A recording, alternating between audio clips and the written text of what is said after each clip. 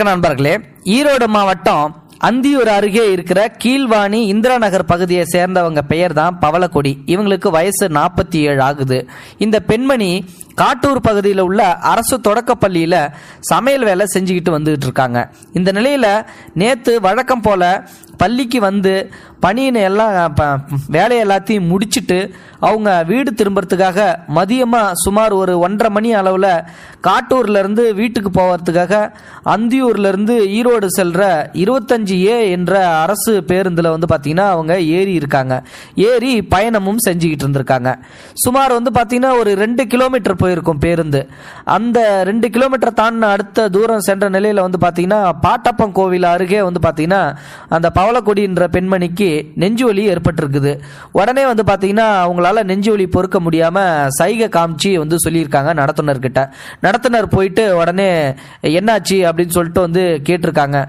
உடனே வந்து பார்த்தீங்கன்னா நடத்துனர் ராஜ்குமார் அவர் பேரு ஓட்டுநர் பேரு சண்முக சுந்தரம் கேட்டுட்டு இந்த மாதிரி உங்களுக்கு நெஞ்சு வலியான்னு சொல்லி கேட்கும்போது அவங்க சைகை காமிச்சிருக்காங்க. உடனே வந்து ஓட்டுநர்கிட்ட சண்முக சுந்தரம் கிட்ட போயிட்டு இந்த மாதிரி ஒரு பெண்மணிக்கு வந்து நெஞ்சு வலி ஏற்பட்டிருக்குது அப்படின்னு சொல்லி விஷயத்த சொல்லியிருக்காரு. உடனே வந்து பார்த்தீங்கன்னா சரி அப்படின்னு சொல்லிட்டு வண்டியை உடனே நிப்பாட்டி நூற்றி எட்டு ஆம்புலன்ஸுக்கு வந்து ஃபோன் செஞ்சிருக்காரு.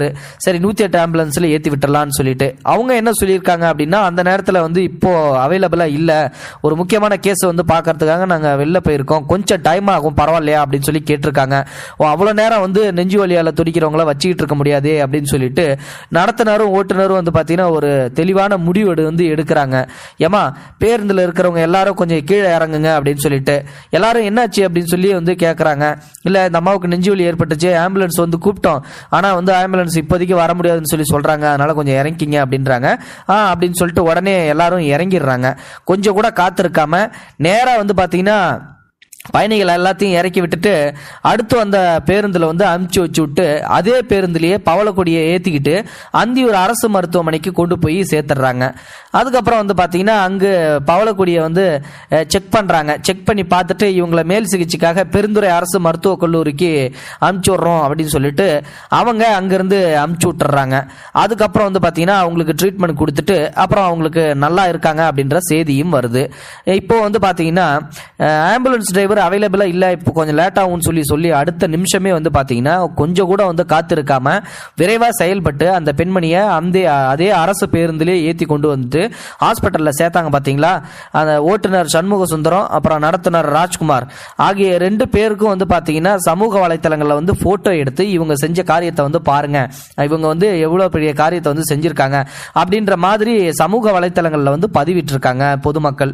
இதை பார்த்த நெட்டிசன்கள்லாம் வந்து பார்த்தீங்கன்னா உண்மையிலுமே இவங்க கிரேட் தான். நல்ல காரியம் செஞ்சுருக்காங்க. இவங்கள போல வந்து மக்கள் இருக்கிறதால தான் நாட்டில் மழையே பெய்யுது. இதே மாதிரி வந்து எல்லாருமே வந்து இருந்துட்டா கண்டிப்பாக இந்த ம- மனித நேயம்ன்றது வந்து அழியவே அழியாது அப்படின்னு சொல்லிட்டு நிறைய கமெண்ட்ஸ் வந்தெல்லாம் சொல்லிட்டு இருக்காங்க. இப்போ விரைந்து செயல்பட்ட உண்மையிலுமே அந்த டிரைவரையும் கண்டக்டரையும் வந்து நம்மளும் வந்து பாராட்டியே ஆகணும்ல. உண்மையிலுமே வந்து அவங்க செஞ்ச காரியம் எப்படி எப்படியாமட்டதுன்னு ஒரு நான் மனித நேயத்தோட வந்து செயல்பட்டு ஒரு உயிரை வந்து காப்பாற்றியிருக்காங்க. இதை பத்தி நீங்க என்ன நினைக்கிறீங்க அப்படின்றத மறக்காமல் உங்களோட கருத்துக்களை கமெண்ட் பாக்ஸில் சொல்லிடுங்க.